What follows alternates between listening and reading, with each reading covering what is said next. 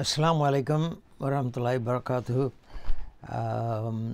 சுவியான் அவர்களுக்கும் மற்ற சங்கம் உறுப்பினர்களுக்கும் ஒரு நான் ஒரு சொற்பொழிவு கொடுக்க போகிறேன் அது எதை பற்றினா இதுக்கு முன்னால் ஒரு ரெண்டு வாரத்துக்கு முன்னால் நான் போட்டேன் என்னை இன்ட்ரடியூஸ் பண்ணி ஒரு வீடியோ அனுப்பியிருந்தேன். இப்போ வந்து அதோடு அதோட வந்து மெடிக்கல் விஷயமாகவும் சுகாதாரத்து விஷயமாகவும் பேசியிருந்தேன் அதில்.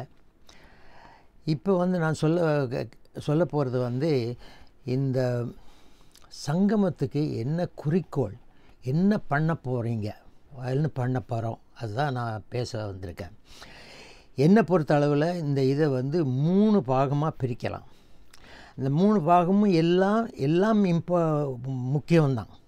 ஒன்று ரெண்டு ஒன்றுக்கு மேலே ரெண்டு ரெண்டுக்கு மேலே மூணு அப்படி கிடையாது. எல்லாமே முக்கியம். அது மூணு பாகம் என்னன்னு சொன்னால் ஒன்று காயாமொழிங்கிற ஊர். Physical land houses electrical supply வா வாட்டர் சப்ளை இந்த மாதிரி எல்லாம் அந்த ஊரை பற்றி பேசுகிறது ஒன்று ஒரு பாகம். ரெண்டாவது பாகம் அந்த ஊர் மக்கள் அங்கே வசிக்கிற மக்கள்.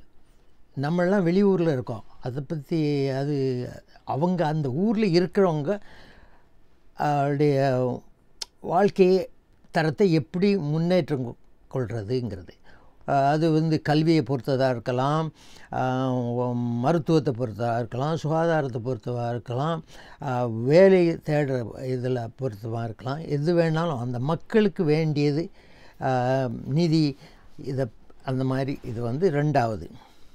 மூணாவது வந்து ரொம்ப இம்பார்ட்டன்ட் வந்து நம்ம பள்ளிவாசல் ரெண்டு பள்ளிவாசல் இருக்குது நம்ம ஊரில். மொய்னாண்டோ பள்ளிவாசல் ஊருக்குள்ளே இருக்குது கலந்தரவழியா அப்போ பள்ளிவாசல் தேரியில் இருக்குது இது ரொம்ப முக்கியம். நம்ம ஊர் வந்து பள்ளிவாசலை வச்சு தான் எல்லாமே முன் வந்திருக்கு. நான் இப்போ முதல் பாட்டை எடுத்துக்கிறேன். முதல் பாட்டு வந்து ஊர் நம்ம ஊர். இத்தனை வருஷத்துக்கு முன்னால் எனக்கு இந்த காயாமொழி சரித்திரம் நல்லா தெரியாது. ஆனால் குறைஞ்சது இரு- இரநூறு வருஷமாவது இருக்கணும். இல்லை அதுக்கு மேலே இருக்கணும். இந்த இந்த இந்த ஊர் வந்தது. அப்போவே அந்த நேரத்திலேயே அவங்க யாருமே வந்து ஆர்கிடெக்ட் கிடையாது என்ஜினியர் கிடையாது சர்வேயர் கிடையாது வாட்டர் ட்ரீட்மெண்ட் ஆட்கள் கிடையாது. ஒன்றும் இல்லாமல் அவ்வளவு அழகாக இந்த இந்த ஊரை அமைச்சிருக்காங்க. எப்படி அமைச்சிருக்காங்கன்னு சொன்னால் பள்ளிவாசல் முதல்ல வந்து அவங்க த சென்டர் பீஸ் நமக்கு வந்து பள்ளிவாசல். அந்த பள்ளிவாசல் இருந்தால் அந்த நாலு தெருவும் போகுது. நாலு தெருவிலேருந்து பள்ளிவாசல் பார்க்க முடியும். அஃப்கோர்ஸ் கடத்தெருவை கொஞ்சம் தள்ளி வச்சுட்டாங்கன்னு நினைக்கிறேன். கடத்தெருவுலேருந்து மயவாடியும் புதுக்கடையும் தான் தெரியும்.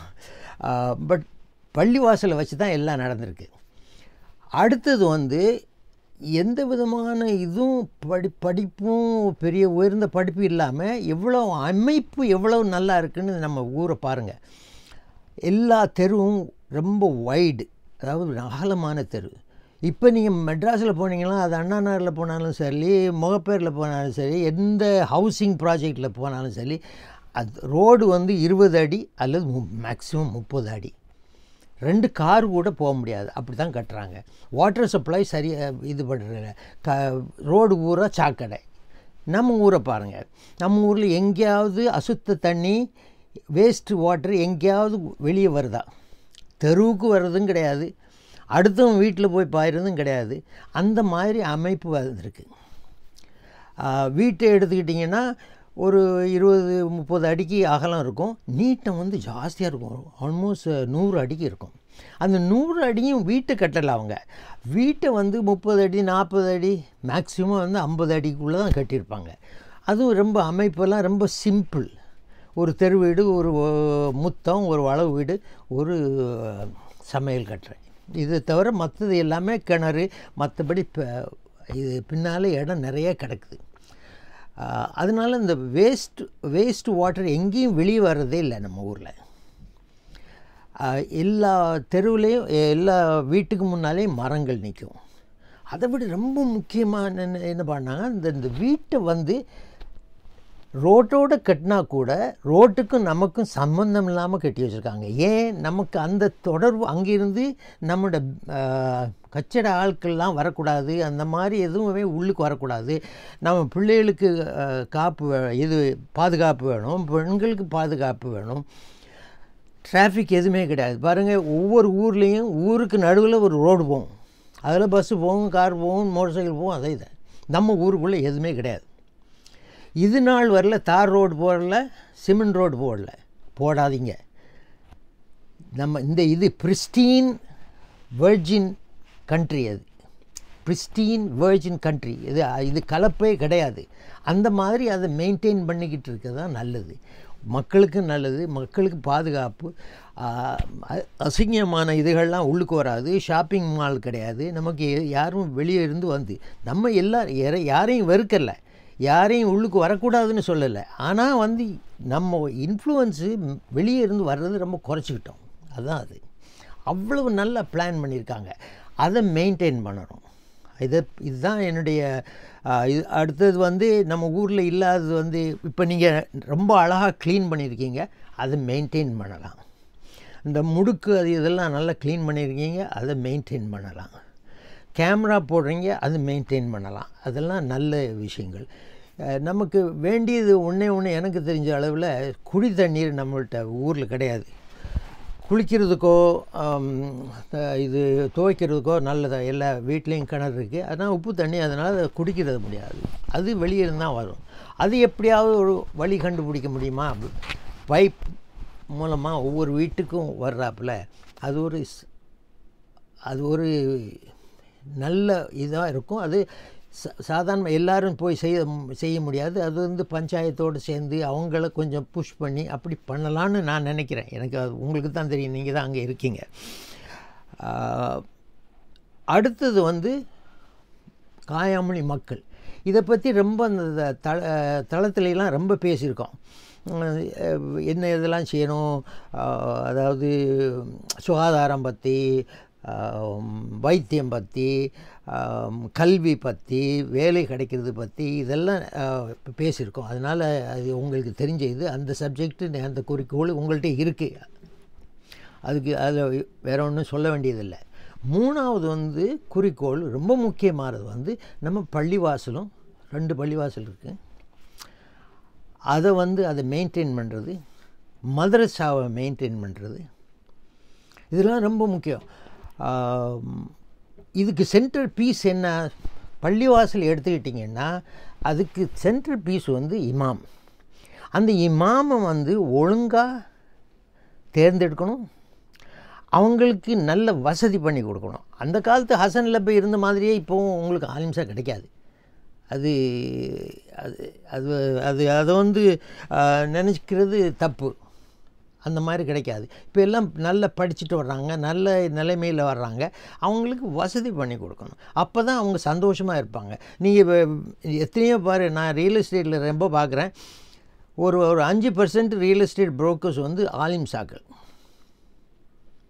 நம்பியலோ நம்பியளோ என் எனக்கு அந்த எக்ஸ்பீரியன்ஸ் இருக்குது அதனால் சொல்கிறேன் ஏன் அதுக்கு போகிறாங்க அவங்களுக்கு வந்து சம்பாத்தியம் பத்தாது. அதனால வேறு எங்கேயாவது போய் சம்பாதிக்கலான்னு பார்க்குறாங்க நம்ம வந்து அவங்களுக்கு சரியான சம்பளம் கொடுத்து வசதியான வீடு கொடுத்து அதை வச்சுருந்தா நமக்கு தான் நல்லது. அது நமக்கு நம்ம பிள்ளைகளுக்கு நம்ம பெண்களுக்கு இதெல்லாம் நல்லது.